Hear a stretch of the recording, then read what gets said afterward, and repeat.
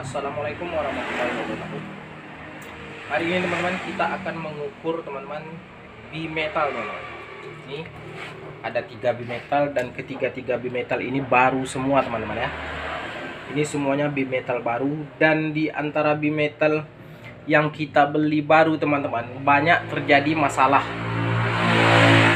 Banyak terjadi masalah sehingga pada saat kita mengganti bimetal teman-teman sistem defrost juga tidak bekerja teman-teman. Sementara bimetalnya sudah kita ganti baru. Dan sekarang kita akan menguji ketiga bimetal ini teman-teman ya. Bimetal ini yang ketiga-tiga ini dia semuanya baru nih teman-teman ya. Semuanya baru. Kita akan masukkan ke dalam kulkas ini teman-teman. Nah kita masukkan ke sini teman-teman ya. Semuanya kita masukkan di sini. Oke kita biarkan dia di dalam ini dan kita akan tunggu nanti teman-teman. Atau kita gunakan ini kulkas bagus nih teman-teman ya. Kita akan gunakan termostat untuk mengukur ya teman-teman. Kita lupa tadi teman-teman. Ini kita ukur dulu. Kita ukur dulu.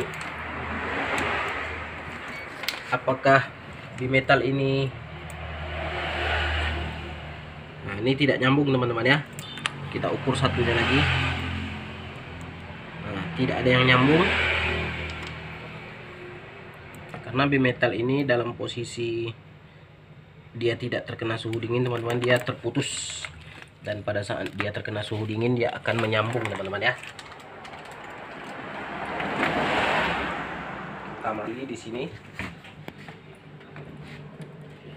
Oke kita taruh di atas sini kita akan gunakan termostat teman-teman ya. Oke kita ukur menggunakan termostat digital teman-teman ya. Ini kita masukkan ke dalam. Kita lihat pada suhu berapa nanti kita akan ukur teman-teman ya.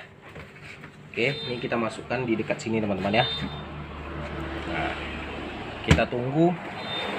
Lihat kita akan tunggu teman-teman biasanya bimetal ini dia akan terputus apabila suhu di bawah nol teman-teman ya. Suhunya min dia akan terputus. Dah nanti kita akan lihat suhu berapa nanti posisi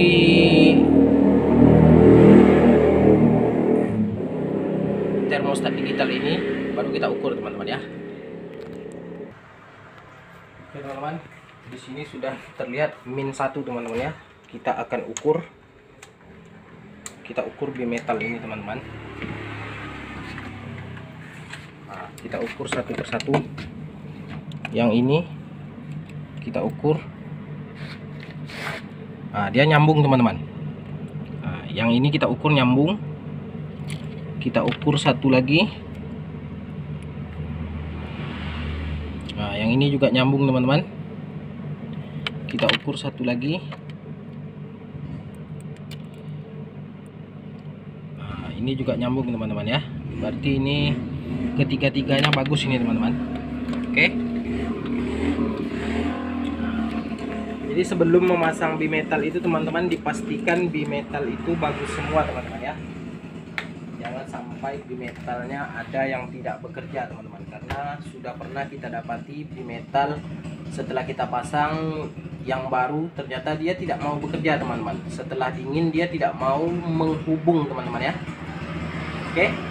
Nah, ini kita tes ketiga-tiganya bagus. Nanti kita akan tes lagi teman-teman di metal yang baru tapi dia bermasalah teman-teman ya. Oke. Itu saja video kita pada hari ini dulu. Cara mengetes B metal. Sampai berjumpa kembali. Assalamualaikum warahmatullahi wabarakatuh